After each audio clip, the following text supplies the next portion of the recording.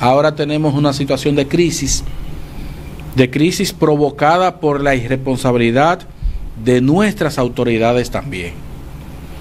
Sí, sí, por la irresponsabilidad de ellos. ¿Por qué? Porque aquí hasta se, amenazó a la gente.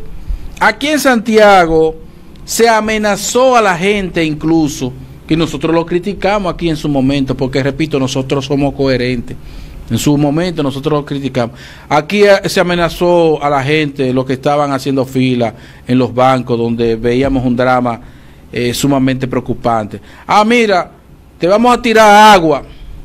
Te vamos a tirar agua si tú no respetas el distanciamiento físico, y con los camiones el distanciamiento social, y con los camiones. y con anuncios por las calles, una cosa que se veía hoy atemorizante.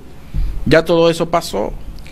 ¿Y qué pasó en campaña? Que ustedes lo veían abrazándose y así sucesivamente. Eso mismo que desarrollaron la campaña. Eso mismo que vivían diciendo que no, que qué sé yo qué, que la gente no escucha, que esto y que lo otro.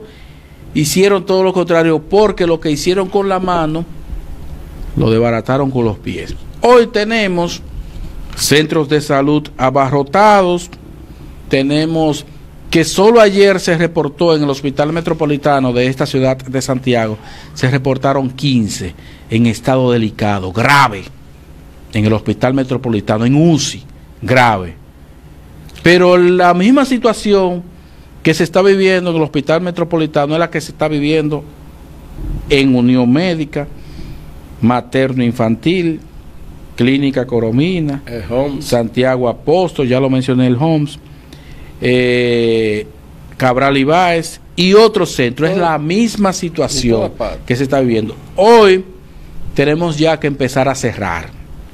Y ahora se va a poner un cordón epidemiológico en toda la zona sur porque ahí es que se ha detectado el mayor brote